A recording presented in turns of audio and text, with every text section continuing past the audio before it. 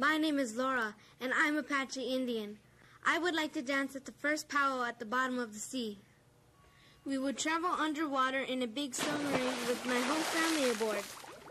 We would open the curtains and sing so loud that everyone around would hear us.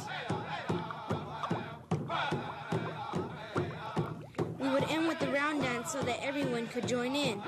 That's how I would dance at the first powwow at the bottom of the sea. PBS Kids!